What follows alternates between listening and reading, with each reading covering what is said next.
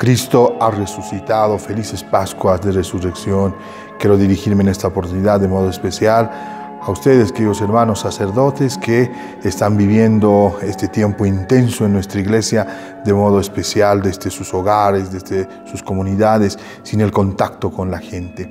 Estamos en un momento difícil, en un momento en el que podemos dejarnos vencer por el miedo, por la tristeza, por la desesperanza, pero quiero transmitirles este mensaje del resucitado. Cristo ha vencido a la muerte y con esa esperanza y con esa fe también vamos a vencer este tiempo difícil. Gracias por todo lo que están haciendo, por los diferentes medios digitales. Gracias por mostrarse cercanos a la gente como siempre lo han sido. Felices Pascuas de Resurrección y un abrazo para cada uno de ustedes.